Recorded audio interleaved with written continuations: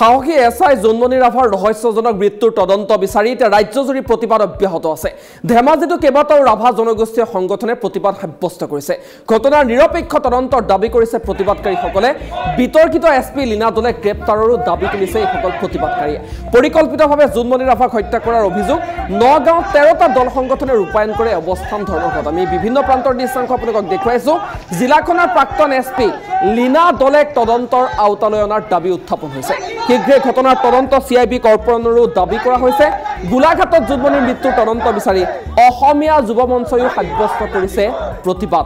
আৰু ৰাজহুৱা স্থানত মুণ্ডন কৰি প্ৰতিবাদ সাব্যস্ত কৰিছে সংগঠনটোৰ সদস্যই।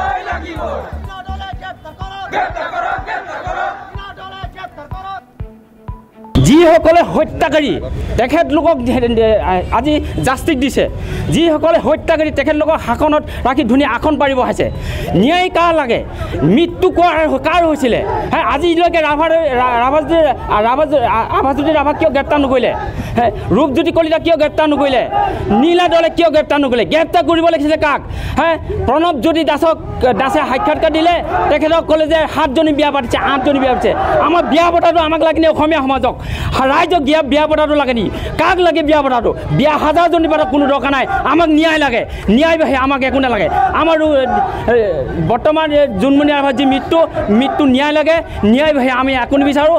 যদি ন্যায় নিদিয়ে তেতিয়া তেখেত আমি পাছত ইয়াতকৈ জংগী আন্দোলন কৰিবলৈ আমি ৰেডি হ'ম। আমি সকলোৱে ৰেডি হৈ আছোঁ আৰু ভৱিষ্যতে ৰেডি হৈ থাকিম। সিহঁতে কি তদন্ত কৰিছে আমি এতিয়ালৈকে ৰাজহুৱাভাৱে জানিব পৰা হোৱা নাই।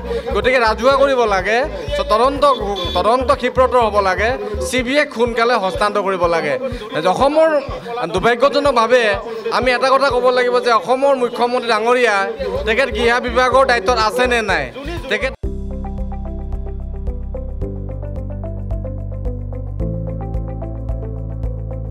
এন বি নিউজ সহজ সৰল ভাষাত নৱভাৰতৰ কথা।